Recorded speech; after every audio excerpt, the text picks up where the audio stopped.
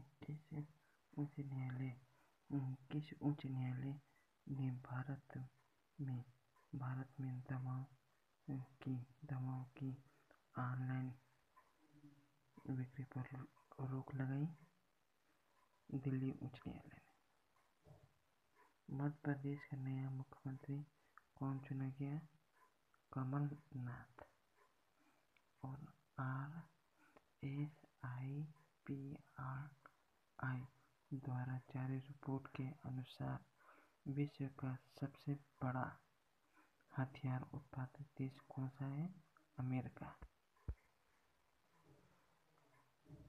संयुक्त राष्ट्र जलवायु परिवर्तन सम्मेलन सी ओ पी चौबीस में किस भारतीय स्टार्टअप को सम्मानित किया गया है? Help us green. भारतीय नौसेना ने हाल ही में किस डार्क वर्ल्ड में डीप सबसे सब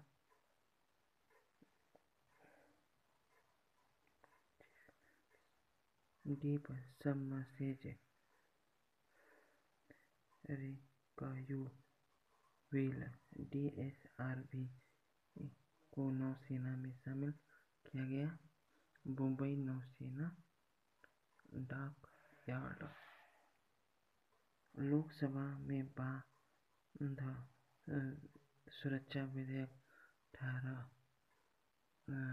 अठारह किसके द्वारा प्रस्तुत किया गया? अर्जुन राम मेघावल किस परमाणु ऊर्जा स्टेशन ने नौ सौ इकतीस तक निरंतर कार्य करने